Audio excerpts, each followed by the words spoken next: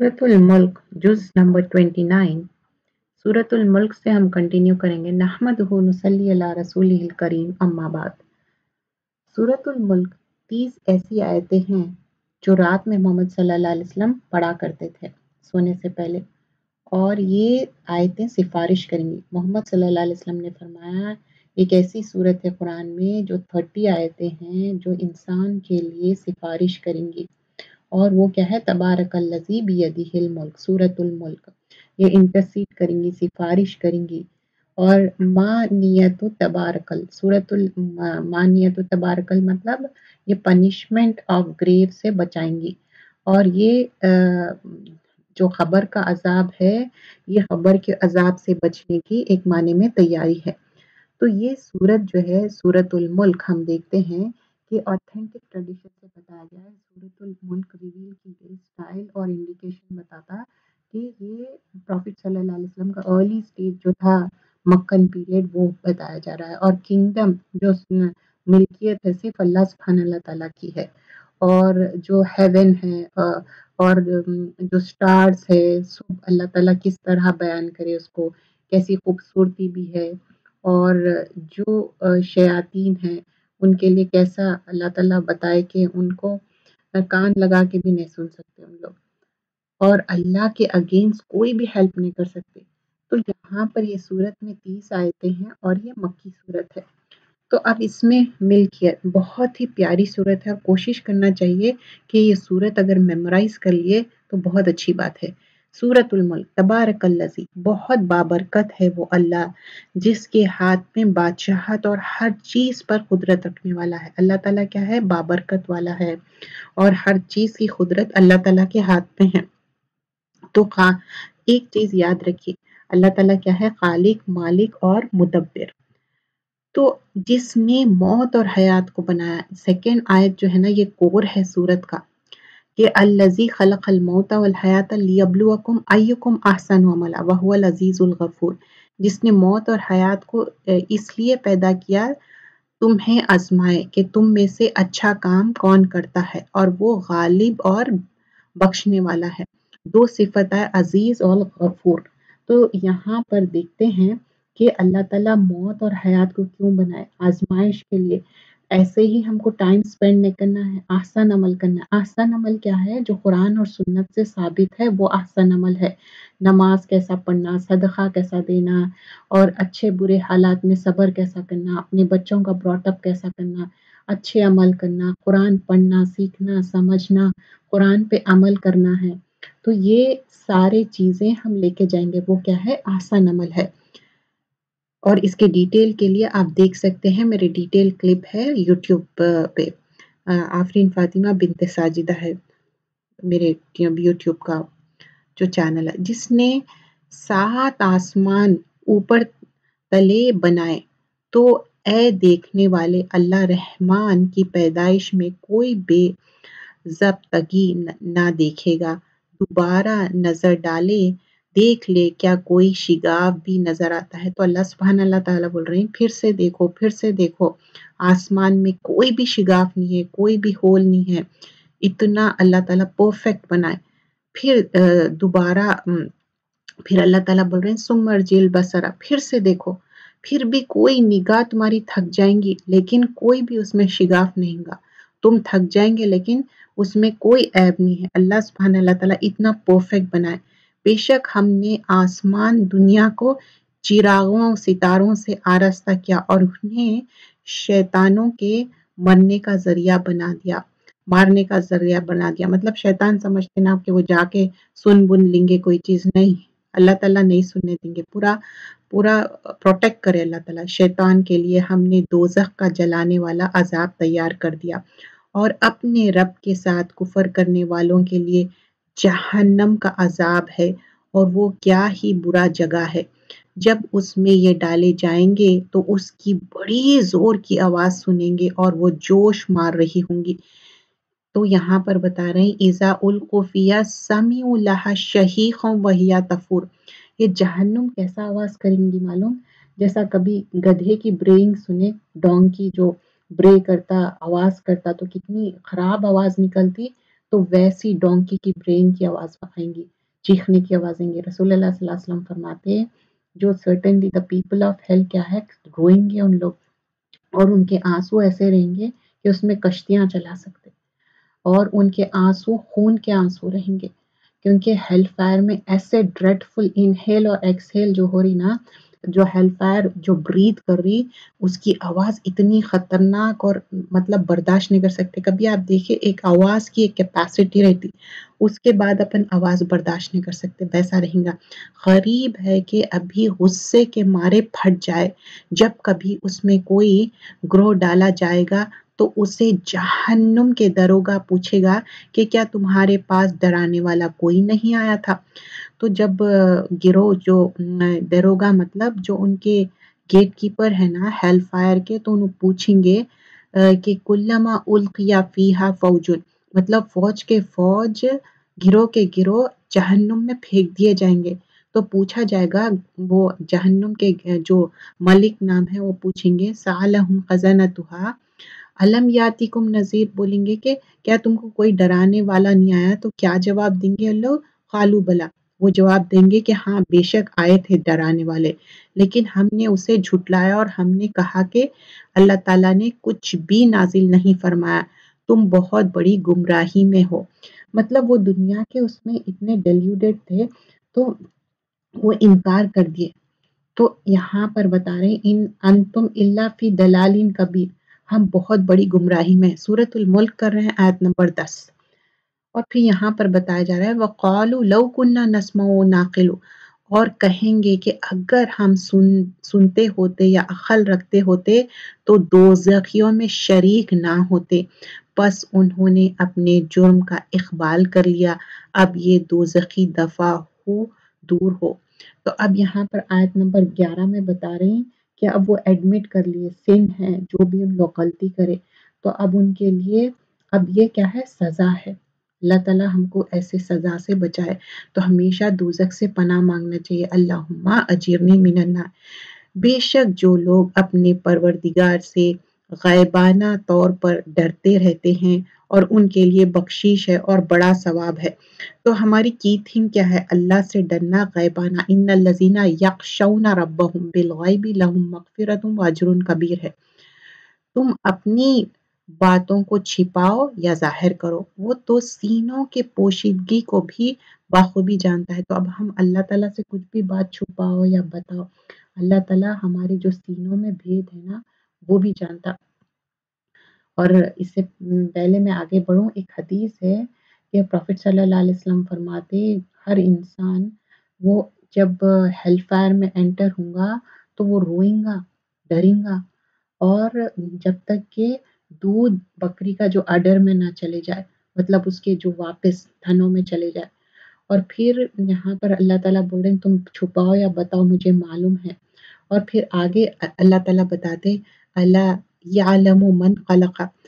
क्या वही ना जाने जिसने पैदा किया, फिर वो बारीक बिन और बाखबर भी हो। तो अल्लाह ताला के दो सिफत आए लतीफ़ भी है अल्लाह ताला और खबीर भी है। हम अल्लाह के अच्छे अच्छे नाम से दुआ करना चाहिए।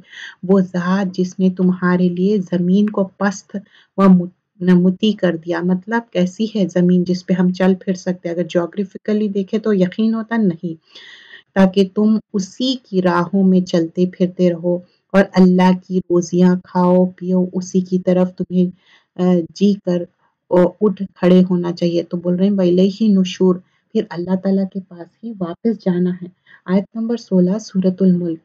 क्या तुम इस बात से बेखौफ हो गए हो कि आसमानों वाला तुम्हें ज़मीन में धसा दे और अचानक ज़मीन लर्जाने लगे? तो अल्लाह ताला बोल रहे हैं, क्या समझ रहे हैं कि मैं चाहे तो यकसिफा बिकुमुल अर्द कि तुम अर्थ में धस जाओ। फ़ैज़ा हिया तमूर, यानी तो ज़ोर ज़ोर से हिला मारे। जैसे अर्थ को एक आता ना, उसकी बात हो रही।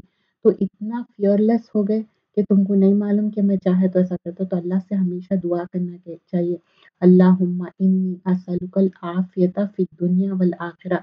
अल्लाह ताला मुझे आफियत में रखे इस दुनिया में भी और आखिरत में। देखिए किस तरह के दुनिया के भी हालात हो रहे ना, एक छोटा सा वायरस है, लेकिन कैसा फैल रहा। अल्लाह से दुआ करना, अल्लाहुम्मा फ़ी दीनी व दुनियावी व अहली व माली। अल्लाहुम्मा अस्तर औराती व आमिन रौआती। अल्लाहुम्मा हफ़िज़नी।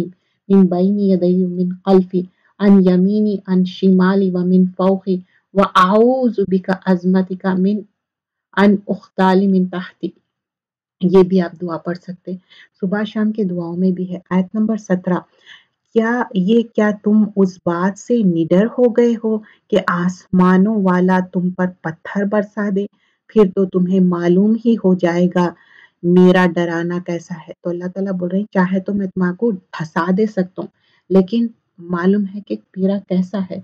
फिर यहाँ पर आयत नंबर 18 में, और उनसे पहले लोगों ने भी छुटलाया था तो देखो उन पर मेरा अजाब कैसा कुछ हुआ। तो पहले के जो प्रीवियस नेशंस थे ना, जो छुटलाए तो उनका क्या हुआ? क्या ये अपने ऊपर पर खुले हुए और कभी कभी सिमटे हुए उड़ने वाले परिंदों को नहीं देखते तो परिंदे कैसे पर फैला के उड़ते, उसकी बात हो रही। उन्हें अल्लाह रहमानी हवा व फिजा में थामे हुए है। बेशक हर चीज़ उसी की निगाह में है। तो अल्लाह ताला कैसा परिंदों को उड़ा रहे हैं? ये सब क्या है? अल्लाह की मशीयत है। परिंदों को ही देख के तो फ्लाइट्स बनाए ना एरोप्लेन्स बनाए तो छोटे छोटे चार्टर फ्लाइट्स कैसा बनाए क्योंकि वो परिंदे कैसे होते सिवाय अल्लाह के तुम्हारे वो कौन सा लश्कर है जो तुम्हारी मदद कर सके? काफिर तो सरासर दुखी में ही है। तो अल्लाह ताला बोल रहे हैं, अल्लाह के अलावा कौन है? तुमको कोई हेल्प कर सकता? जब अल्लाह ताला हेल्प नहीं करे ना, कोई भी हेल्प नहीं कर सकता। प्रॉफिट सल्लल्लाहु अलैहि फरमाते हैं, जब फैमिन आ गया और उसके अंदर ड्रॉट आ गया और फिर ये क्या है, ये हैवी रेनफॉल आ जाता और कुछ भी अर्थ में ग्रो नहीं होता। और ये कैसा होता एक्सेसिव रेन के वजह से होता फ्लड आ जाता प्लांट्स पूरे डिस्ट्रॉय हो जाते। ये अल्लाह ताला की तरफ़ से है। हम सिर्फ़ दुआ कर सकते, कोई चीज़ को रोक नहीं सकते।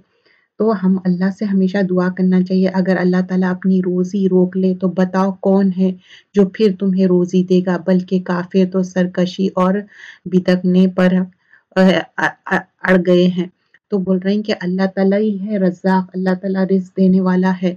अच्छा वो शख्स ज़्यादा हिदायत वाला है जो अपने मुँह के बल औंधे होकर चला, या वो सीधे पैरों के बल राह रास्त पर चल रहा है? तो अल्लाह ताला बोल रहे हैं, जो अपने दो टांगों पे चल रहा स्ट्रेट अवे वो सही है, या अपसाइड डाउन होके जो चल रहा, वो सही है? कौन सही है? बल्कि बताओ। कुल हुवल्लजी कह दीजिए कि वही अल्लाह है जिसने तुम्हें पैदा किया और तुम्हारे कान, आँख और दिल बनाए। तुम बहुत ही कम शुक्र गुजार करते हो। तो अल्लाह ताला बोल रहे हैं, ये जो फैकल्टीज है ना, कान, आँख, दिल, ये अल्लाह की राह में यूज़ करना है। तो अल्लाह ताला क्यों बोल रहे हैं? खलील अम्मा तशकुरून, क्योंकि अगर हम ये अल्लाह की राह में नहीं यूज़ कर रहे हैं तो शुक्र गुजारी नहीं है, ये नाशुक्री है। आयत नंबर 24 सूरतुल मुल्क कर रहे हैं। कह दीजिए कि वही है जिसने तुम्हें ज़मीन में फैला दिया और उसी की तरफ़ तुम इकट्ठा किए जाओगे।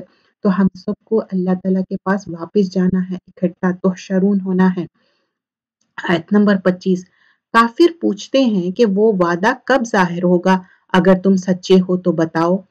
वो मतलब एज इफ़ लोग अजाब मांग रहे हैं, काफिर लोग।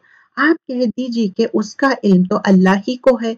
मैं तो सिर्फ़ खुले तौर पर आगा कर देने वाला हूँ। तो अब ये अल्लाह के रसूल सल्लल्लाहु अलैहि वसल्लम बोल रहे हैं, कुल इन्नमा इल्मु इंदल्लाह। अल्लाह ताला के पास है। व इन्नमा अना नजीर मुबीन। मेरा काम तो सिर्फ़ डराना है। जब ये लोग उस वादे को करीब तर पा लेंगे, उस वक्त उन काफिरों के चेहरे बिगड़ जाएँगे और कह दिया जाएगा कि ये है जिसे तुम तलब किया करते थे। तो अब एक्चुअली में जब उन लोग देख लेंगे तो उन लोग परेशान हो जाएँगे।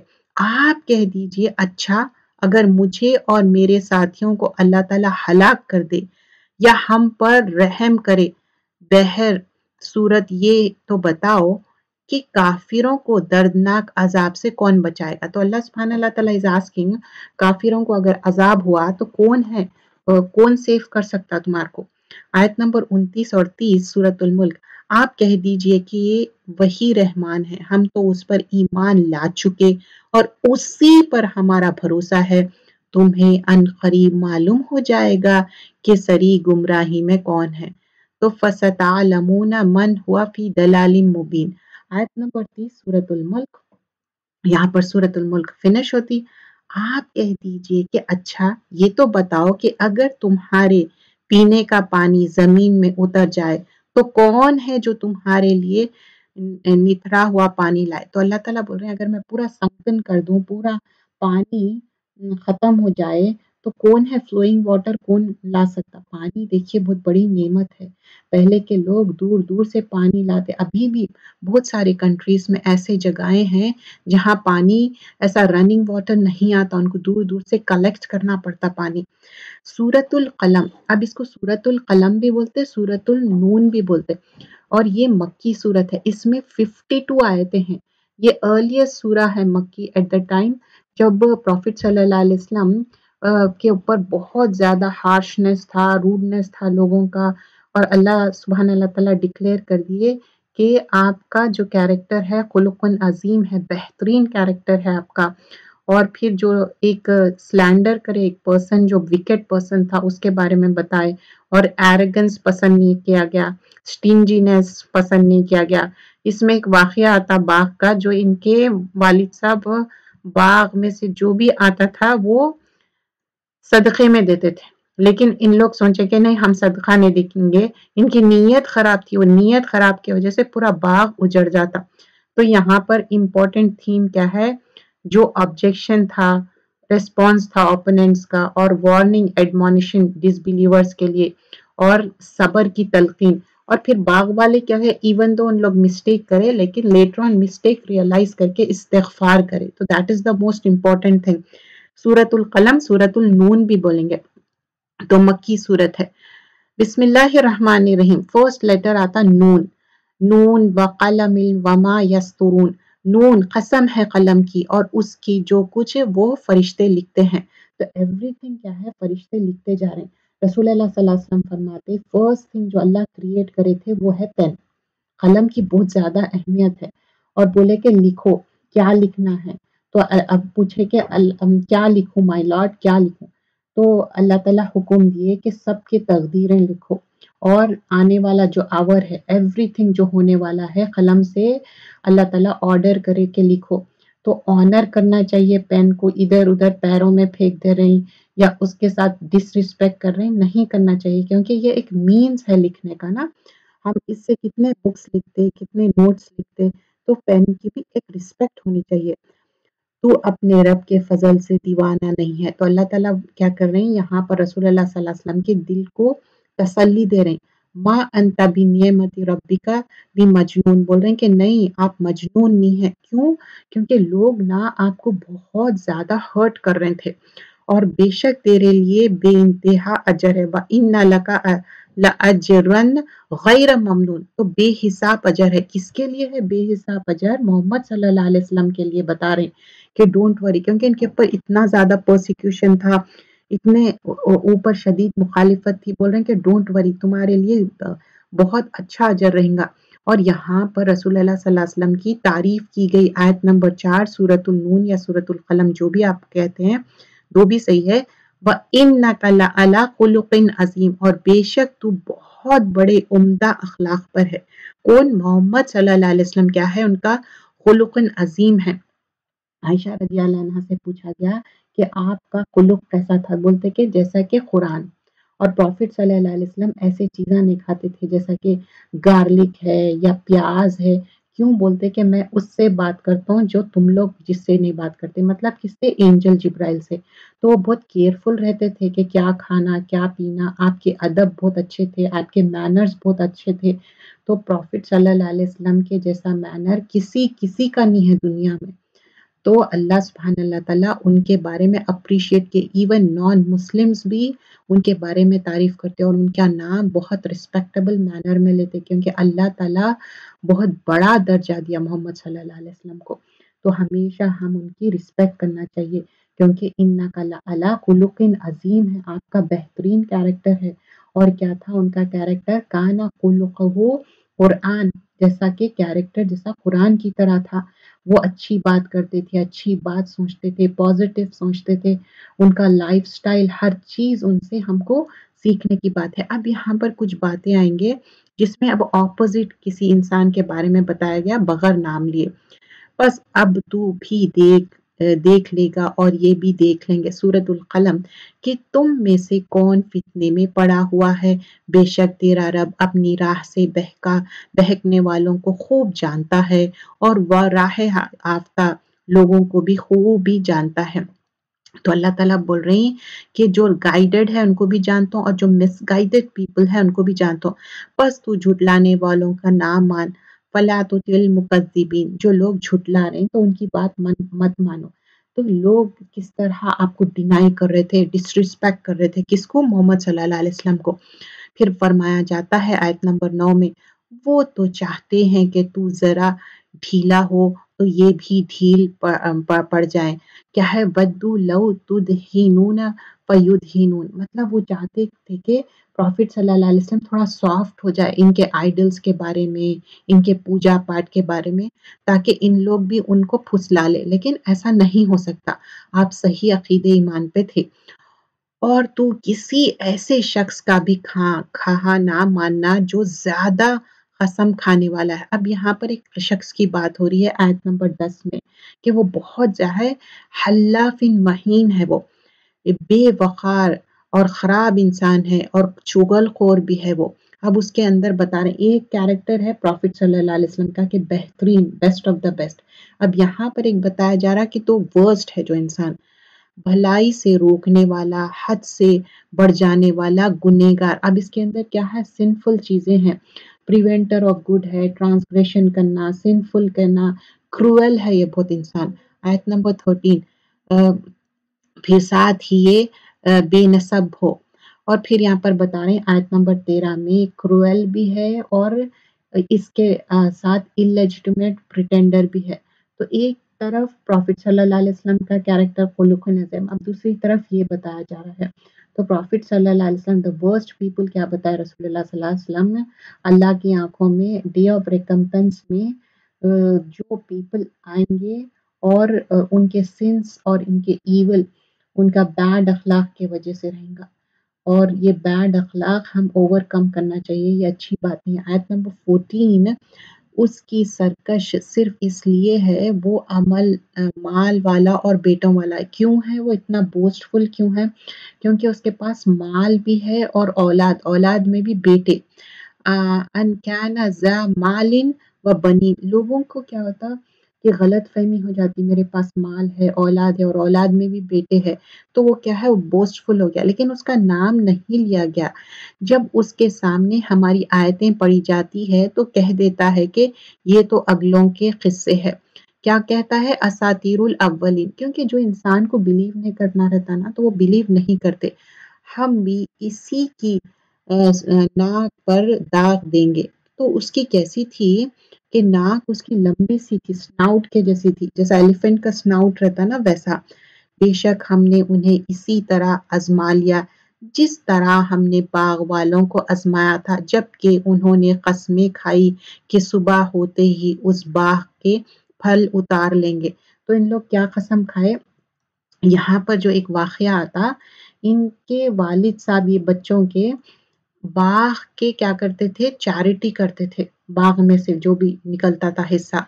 तो अब इन लोग क्या सोचे अच्छा हमारे वालिद साहब तो इतने ज़्यादा मतलब स्मार्ट नहीं थे, अब हम बहुत स्मार्ट बनेंगे, हम सारे बाग के फल तोड़ लेंगे और कोई आने से पहले, इन लोग सोचे कि चुपचाप खामोशी से सुबह के वक्त जाएँगे, किसी को पता भी ना चले और पूरा प्लक आउट करके आएँगे और जो इसमें वर्ड्स इस्तेमाल हुए, जैसे कि कम्प्लीटली वाइप आउट कर लेना, कुछ भी नहीं छोड़ना।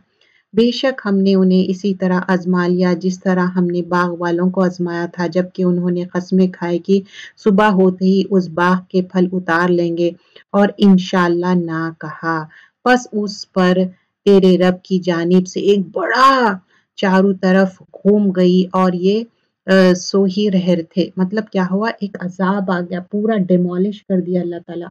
क्योंकि इन लोग एरोगेंस जो एरोगेंस करते ना, वो चूटियों के जैसा उठाएँगे। और यहाँ पर इससे पहले जो कैरेक्टरिस्टिक बताया कि उसके नाक पे उसको बहुत ज़्यादा घमंड था, वो चीज़ खत्म होगी। अब ये नेक्स्ट स्टोरी क्या है? बाग वालों की स्टोरी है, जिसमें बताया जा रहा है कि उनके वालिद साहब तो चैरिटी करते थे। लेकिन इन लोग सोच रहे हैं कि हम चैरिटी नहीं करेंगे, इन लोग बहुत सेल्फिश लोग हैं।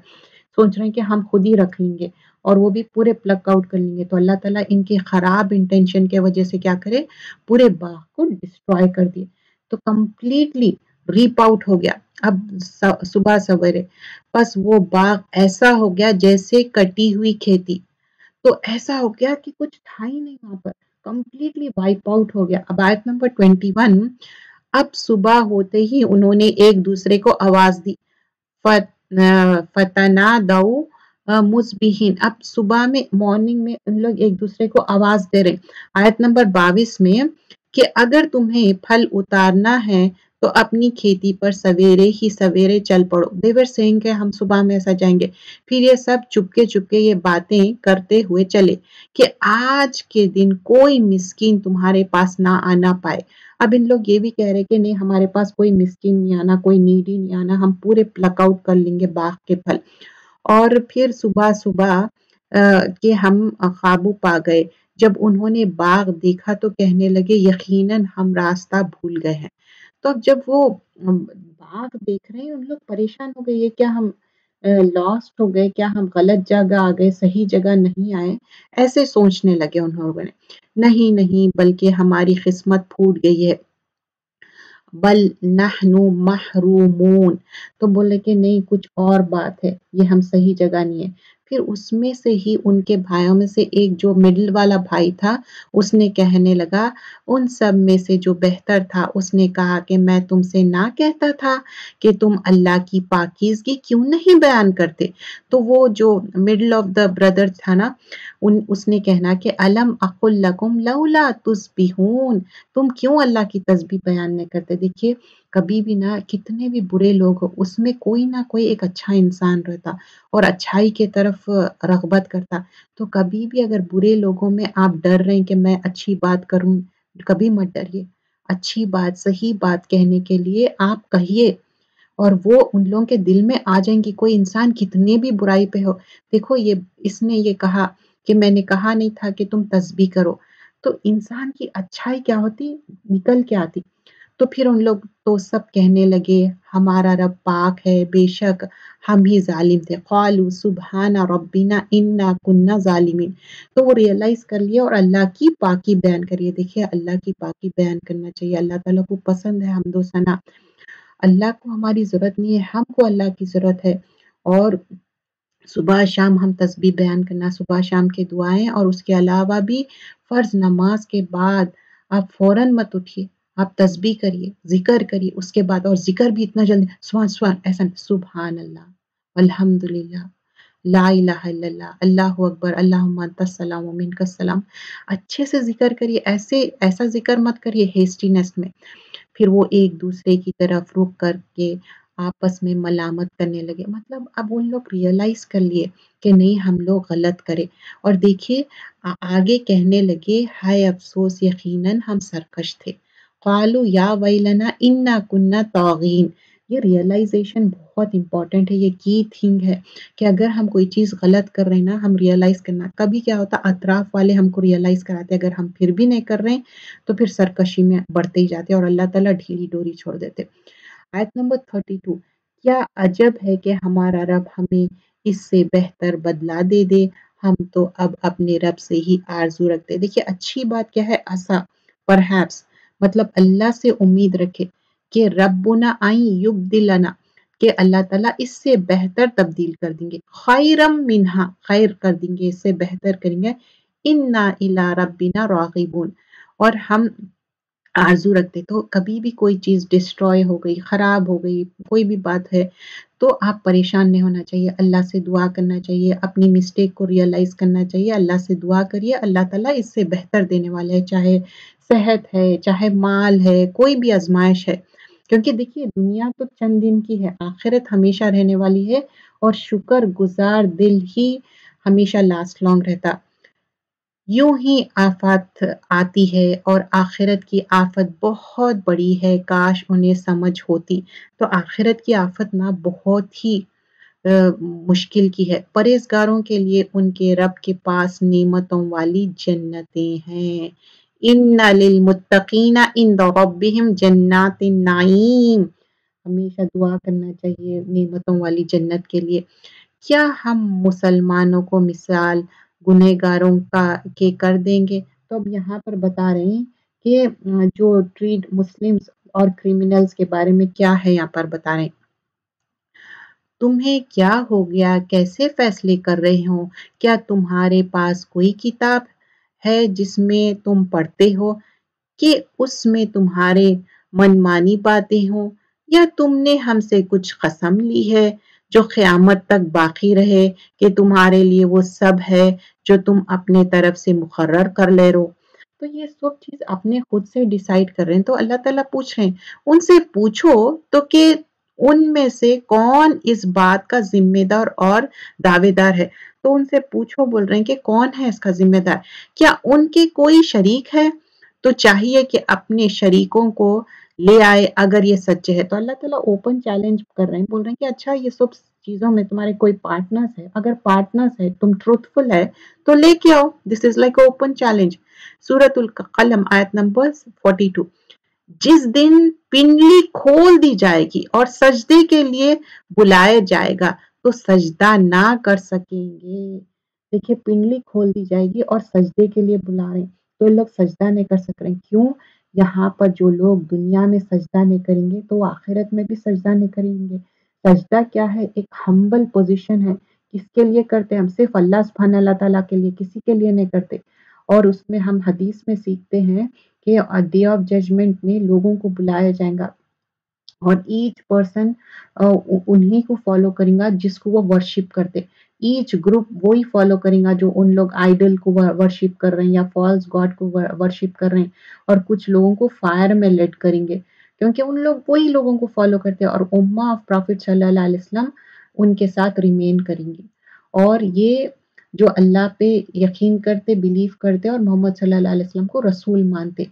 और फिर यहाँ पर बताया जा रहा कि कुछ लोग ऐसे रहेंगे जो उनके ऊपर साइंस रहेंगे रिकॉग्नाइज करेंगे और यहाँ पर बोलेंगे कि अल्लाह ताला अपनी शिन अनकवर करेंगे। तो अल्लाह ताला जब शिन अनकवर करेंगे, सब लोग सजदे में गिर जाएँगे और किसी के बैक्स क्या की हॉर्न्स ऑफ़ ए काउ हो जाएँगे। उन लोग सजदा करना चाहेंगे, लेकिन नहीं कर सकेंगे। क्यों? इवन तो उन लोग सेफ़ एंड साउंड थे, इस दुनिया में उन लोग सजदा नहीं करे तो आखिरत में भी उन्हें सजदा नहीं कर सकेंगे। प्रॉफिट वसल्लम फरमाते और एक एक हदीस है, जब सब लोग सजदा करेंगे हिपोक्रेट उन लोग सजदा नहीं कर सकेंगे। क्यों? इस दुनिया में उन लोग सजदा नहीं करे। और एक एक एक अनदर वर्जन है, जिसमें हदीस में हम सीखते हैं कि अल्लाह सुबहान अल्लाह ताला अपने शिन को, वो बताएँगे on on the day of judgement all believers man and women क्या करेंगे? सजदा करेंगे। लेकिन कुछ रहेंगे जो दुनिया में शो ऑफ़ करने, दिखाने के लिए रेपुटेशन के लिए कर रहे थे तो वो लोग सजदा नहीं कर सकेंगे। उनके बोन्स क्या हो जाएँगे? स्टिफ हो जाएँगे। तो देखिए, ये जो रियाकारी है ना, अल्लाह ताला बचाए। हम अल्लाह के लिए इबादत करना है, अल्लाह के लिए सजदे करना है। हमको ये नहीं चाहिए कि अच्छा हमारे सजदे का प्लेस जो है, बहुत ज़्यादा ब्लैकन हो जाए। नहीं ये तो ओरिजिनली अगर किसी का हो रहा तो वो आपके और अल्लाह के बीच में है। जिस दिन पिंडली खोल दी जाएगी और सजदे के लिए बुलाया जाएगा तो सजदा ना कर सकेंगे। निगाहें नीची होंगी और उन पर जिल्लत का वाह खारी छा रही होगी। हालाँकि ये सजदे के लिए उस वक्त भी बुलाए जाते थे जबकि सही सालिम थे। जब क्या है? आयत नंबर 43 में बता रहे हैं। इन लोग सही सालिम थे, अच्छे थे। सजदे के लिए बुलाया जाते थे, फिर भी इन लोग सजदा नहीं करते थे। तो अब इनको क्या है? अब सजदा नहीं कर सकेंगे। तो इस दुनिया में सजदे करना मतलब फ़र्ज़ नमाज़ के अलावा सुन्नती, नफील, बस मुझे और उस कलाम को झुटलाने वाले को छोड़ दे। हम उन्हें इस तरह आहिस्ता आहिस्ता खींच के उन्हें मालूम भी ना होगा और मैं उन्हें ढील दूँगा। बेशक मेरी तदबीर बड़ी मज़बूत है। क्या तू उनसे कोई उजरत चाहता है, जिसका तावान से ये दबे जाते हो। तो कोई भी प्रॉफिट जितने भी रसूल, कभी भी कोई उजरत नहीं चाहे। ये क्या तुम ये क्या उनके पास इल्म गैब है, जिसे वो लिखते हैं? तो अल्लाह ताला बोल रहे हैं, क्या है इनके पास? अम इंदहुम गैब फहुम यकतुबुन? क्या गैब का इल्म है जो लिख रहे हैं इन लोग? बस तू अपने रब के हुक्म का सब्र से इंतज़ार कर। फसबिर लिहुक्म रब्बिका, वला तकुन कसाहिबिल हूत तो यहाँ पर बताया जा रहा जैसा साहिबुल हूत कौन है? यूनुस अलैहिस्सलाम बस तू अपने रब के हुक्म से सबर से इंतज़ार कर और मछली वाली की तरह ना हो जाओ। क्या थे मछली वाले? यूनुस अलैहिस्सलाम उससे में चले गए थे, सबर ने करके। जबकि उसने गम की हालत में दुआ की। तो बता रहे हैं कि जब गम की हालत में यूनुस अलैहिस्सलाम दुआ करे तो कैसा उनको मछली के पेट में से निकाले? बस तू अपने रब की हुक्म के सबर कर।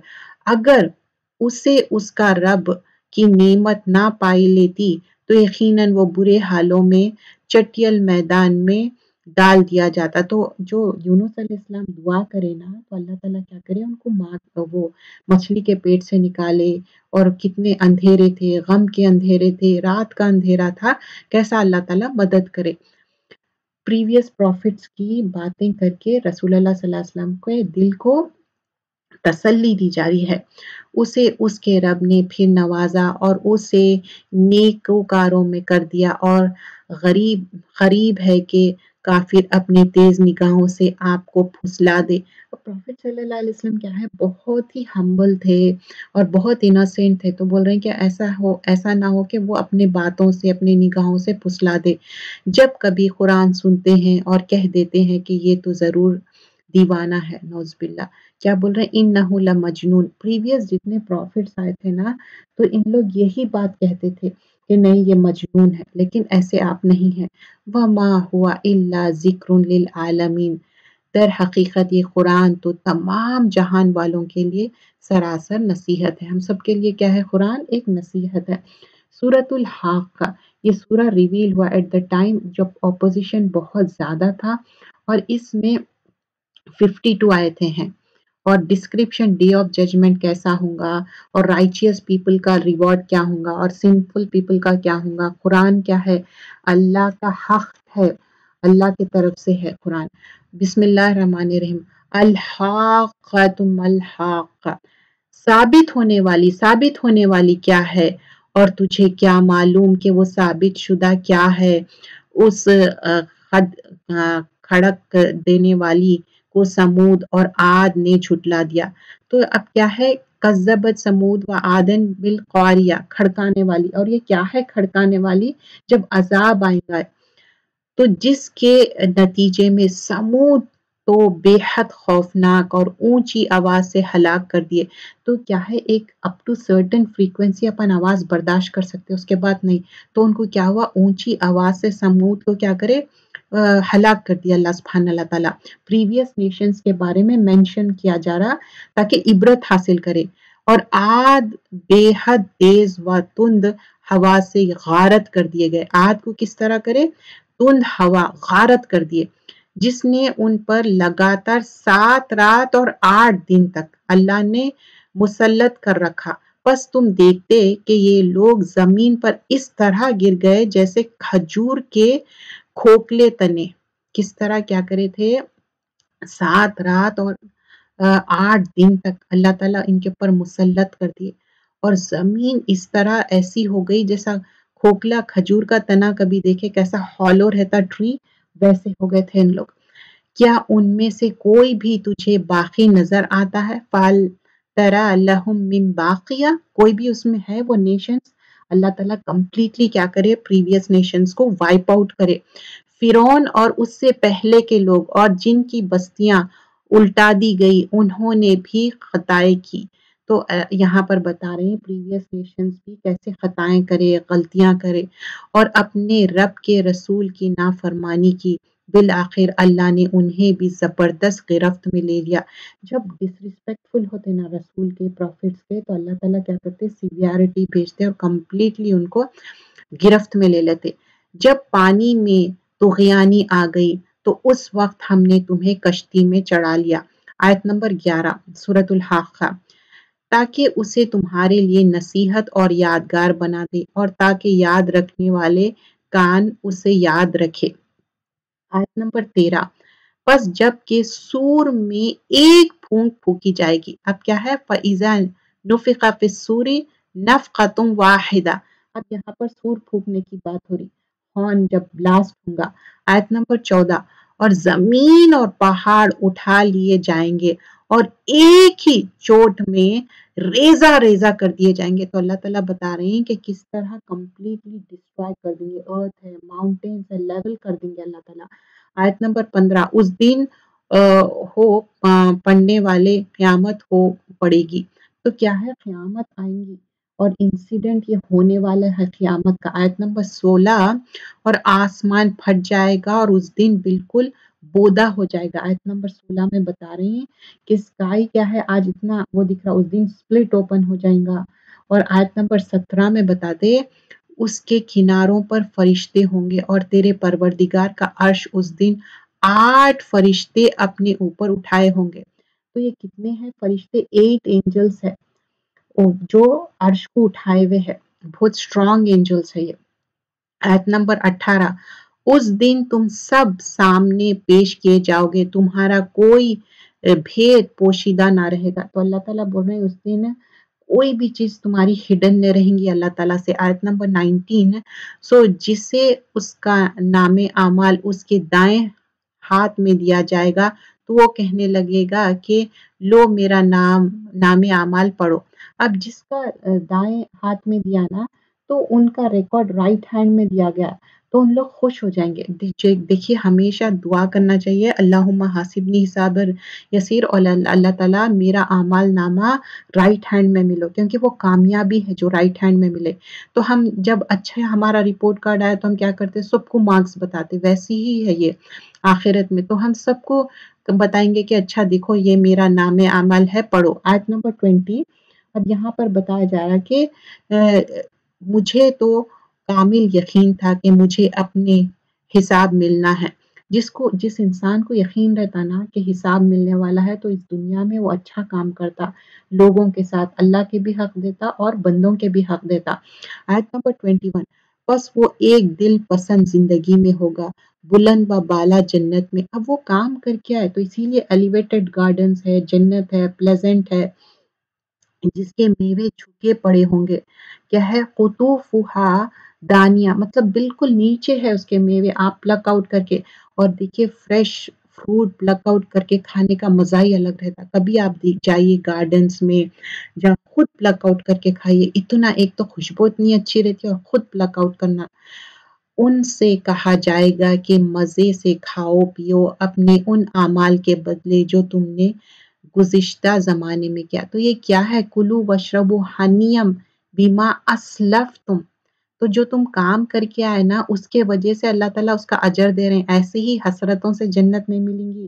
जन्नत मकारे से है डिसलाइक चीज़ों से घिरी हुई है। उसके लिए मशक्कत कोशिश करना है।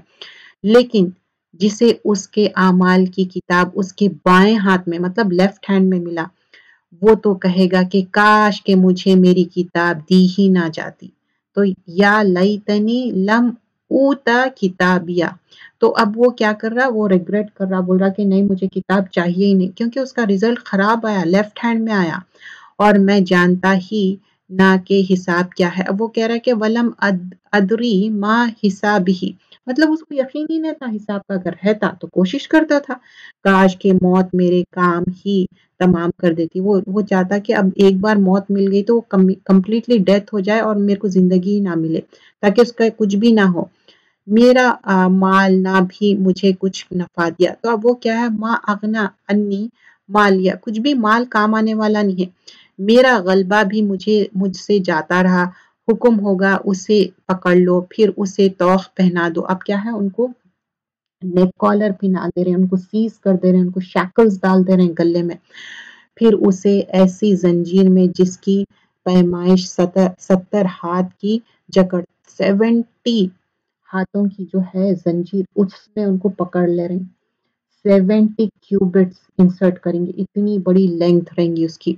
बेशक ये अल्लाह अजमत वाले पर ईमान ना रखते थे। तो क्या है इनके रीजंस क्या है? इन लोग अल्लाह पे ईमान नहीं रखते थे। आयत नंबर थर्टी थ्री में देखिए। और मिस्कीन के खिलाने पर रगबत ना दिलाते। इन लोग क्या है? मिस्कीन को खाना नहीं खिलाते। देखिए, मिस्कीन को खाना खुद भी खिलाना चाहिए और लोगों को भी कहना चाहिए। चाहे आप पैसे खर्च करिए या खुद बना के खिलाइए, जो भी आप मीन्स एडॉप्ट कर रहे हैं। लेकिन ज़रूर मिस्कीन को खाना खिलाना। बस आज उसका ना कोई दोस्त है और ना सिवाय पीप के उसकी कोई गज़ा नहीं। अब क्या है, सिवाय पीप के कुछ भी गज़ा नहीं है। मिस्किन मतलब हम समझते कि गरीब, गुरबा अपने रिश्तेदारों का भी हक बनता बज़त रिश्तेदार खुद ही मिस्किन रहते। और ना सिवाय पीप के उसकी कोई गज़ा है, जिसे गुनागारों के सिवाय कोई नहीं खाएँगे। आप सोचिए, जो वूंड्स है, जिससे पीप निकल रहा, खून निकल रहा, वो खाना चाहते नेवर लेकिन वहाँ पर वही गज़ा मिलेंगी, क्योंकि ये उनको यही कमाई करे उन लोग। बस मुझे कसम है उन चीज़ों की जिन्हें तुम्हें देखते हो और उन चीज़ों की जिन्हें तुम नहीं देखते कि बेशक ये कुरान बुज़ुर्ग रसूल का कौल है। इन लकौल रसूल करीम। ये किसी शायर का कौल नहीं। अफसोस, तुम्हें बहुत कम यकीन है। तो आयत नंबर 41 में बता रहे हैं, ये शायर का कौल नहीं है और ना किसी काहिन का कौल है। अफसोस, बहुत कम नसीहत ले रहे हो। तो यहाँ पर बोल रही खली लम्मा ये तो रब्बुल आलमीन का उतरा हुआ है तंजील रब्बिल आलमीन और अगर ये हम पर कोई भी बात बना लेते तो अलबत्ता हम उसका दाहिना हाथ पकड़ लेते। तो अल्लाह ताला बोल रहे हैं, अगर तुम करते कुछ भी ऐसी हरकत तो हम सीज कर लेते तुम्हारा राइट हैंड फिर उसकी शेरक काट देते। तो अल्लाह ताला क्या बोल रहे हैं तुम ऐसी हरकत करते ना तो हम एरोटा तुम्हारी शेरक कट कर देते।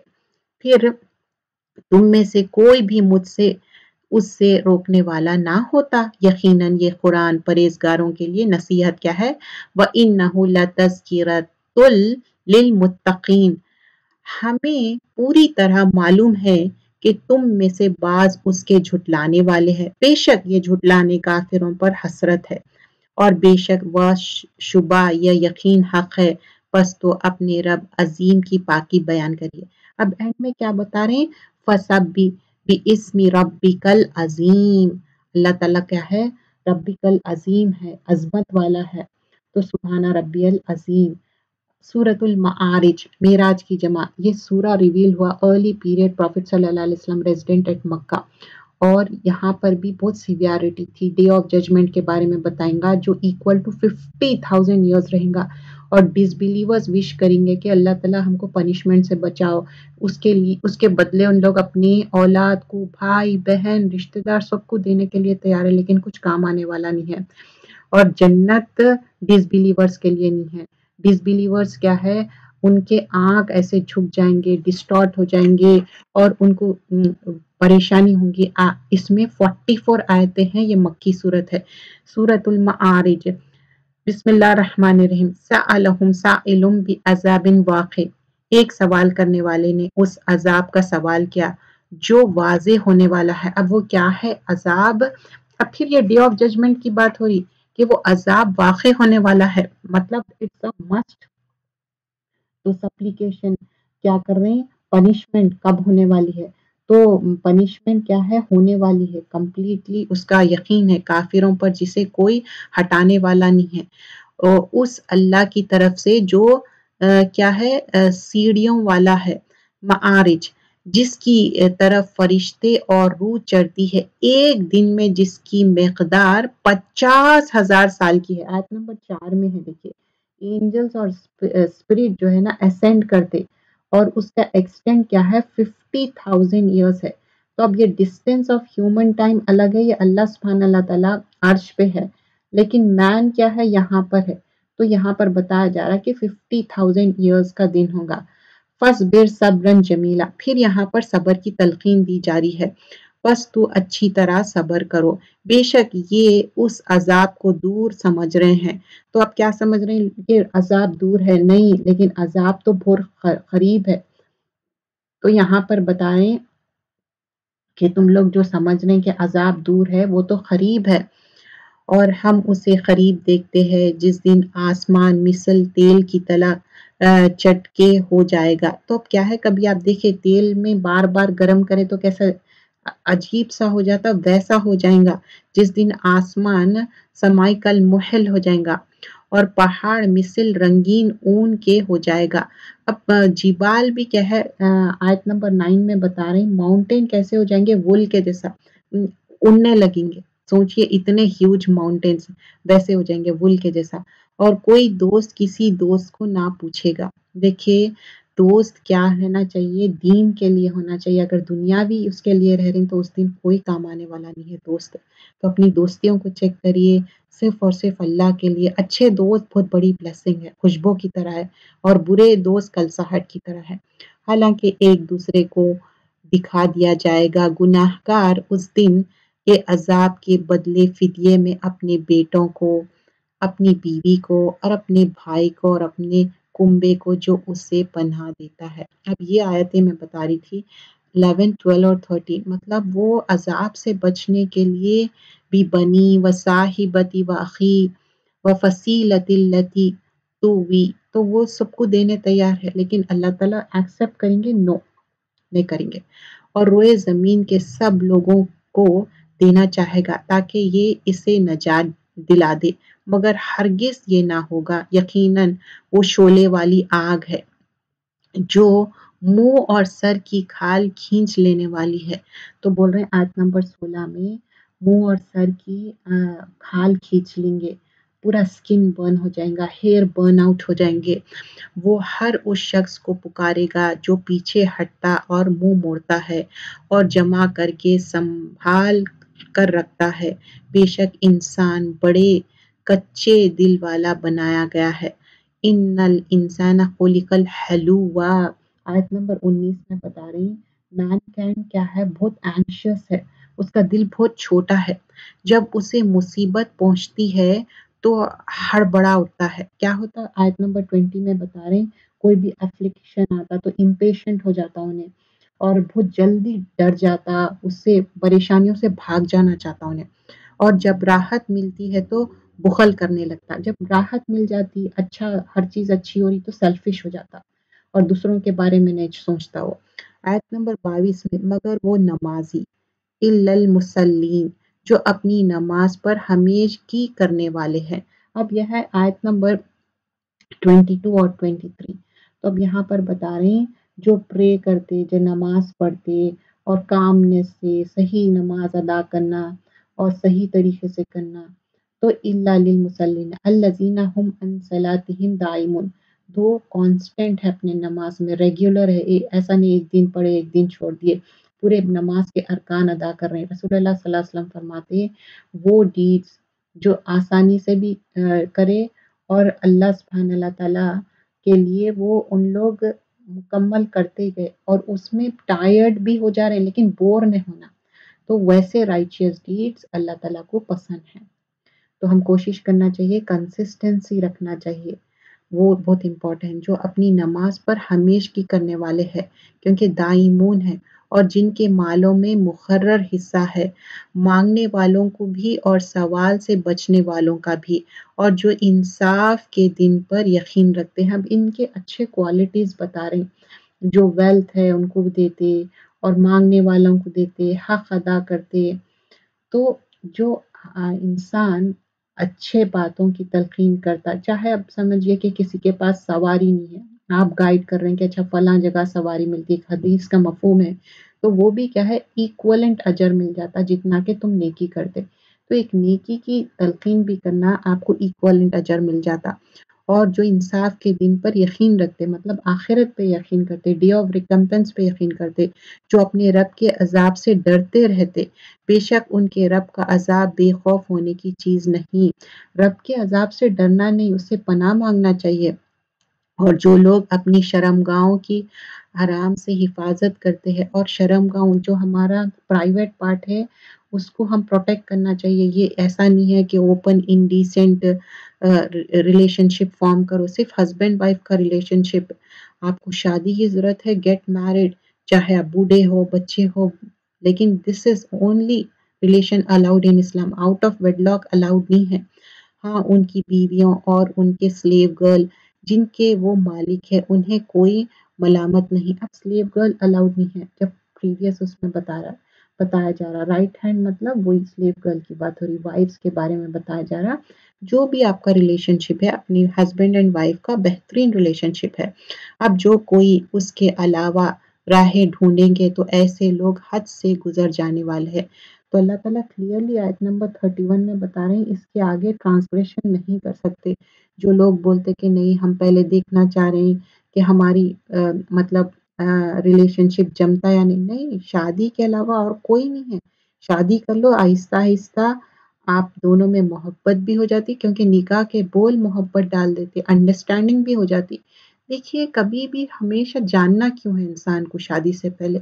शादी के बाद ही जो आहिस्ता आहिस्ता जानते वो ही मोहब्बत पैदा करते। और जो अपनी अमानतों का और अपने खौल का वक़रार का पास रखते देखिए, अमानतों में ना अगर कोई पैसे रखा है, कोई चीज़ रखा है, वो तो हम ख्याल रखते हैं, लेकिन किसी की बातचीत भी अमानत है। उसमें अमानत में ख़यानत नहीं करना, किसी का राज पाश नहीं करना और जो अपनी नमाज़ों की हिफाजत करते फिर नमाज़ की बात हो रही, वल्लजीना हम अला सलातिहिम युहाफिजुन। नमाज़ को हम हिफाजत करना, बुरे बातें, बुरे हरकतों से क्या है? नमाज़ खुल जाएँगी। देखिए, नमाज़ फाहशा और मुनकर से रोकती, सूरतुल अनकबूत में हमने सीखा। तो फिर अगर आप फाशा और मुनकर से नहीं रुक रहे हैं तो फिर ये कैसी नमाज़ है, ये नमाज़ की तो हिफाजत नहीं हुई, नमाज़ की हम हिफाजत करना नमाज़ तो पढ़ते हैं हम, लेकिन हिफाजत करना, बैक बाइटिंग कर रहे हैं, लोगों की कीबतें कर रहे हैं, बुराई कर रहे हैं, उनकी किरदार की कुशादगी कर रहे हैं, ऐसा नहीं करना चाहिए। और लोगों को डिसरिस्पेक्टफुल हो रहे हैं, ये सारे की चीज़ें गलत है, हकूक़ और हकूक़ इबाद यही लोग जन्नतों में इज़्ज़त वाले होंगे। ये सारे चीज़ें करे। उलाई का फ़ी जन्नतिन मुकरमून रिस्पेक्टेबल जन्नत है। क्योंकि ये कुछ चीज़ें करके आए इन लोग। उनके अंदर सिफात है। बस काफिरों को क्या हो गया है कि वो तेरी तरफ़ दौड़ते आते हैं। दाएँ और बाएँ से ग्रोह के ग्रोह। क्या उनमें से हर एक की तो ये है कि वो नेमतों वाली जन्नत में दाखिल किए जाएँगे? ऐसा हर गिस ना होगा। हमने उन्हें उस चीज़ से पैदा किया है जिससे वो जानते हैं। मतलब एक हफीर पानी से अल्लाह ताला हमको पैदा करे नुतफे से। बस मुझे कसम है मशरक़ों और मगरबों के रब की कि हम यकीन कादिर है। उस पर के उसकी एवज उनसे अच्छे लोग ले आए और हम आजिज नहीं है। बस तू उन्हें झगड़ते, खेलते, छोड़ दे। यहाँ तक कि ये अपने उस दिन से जा मिले जिसका उनसे वादा किया जाता है। जिस दिन ये खबरों से दौड़ते हुए निकलेंगे, गोया कि वो किसी जगह की तरफ़ तेज तेज जा रहे हैं। कैसा निकल रहे हैं लोग? आयत नंबर 43 में देखिए, ऐसा इमर्ज होंगे ग्रेव से रैपिडली जैसा कि इरेक्टेड आइडल्स कैसा हेसन करते, वैसा। फिर आयत नंबर 44 फोर में उनकी आँखें झुकी भी होगी, उन पर जिल्लत छा रही होगी। ये है वो दिन जिसका उनसे वादा किया जाता है। जालिका यौम लजी कैनू यो आदून तो ये उस दिन है जो अल्लाह ताला जो वादा करे ना, वो वादा पूरा हो रहा। तो ये बात यहाँ पर मेंशन की जा रही। अब सूरत नू है।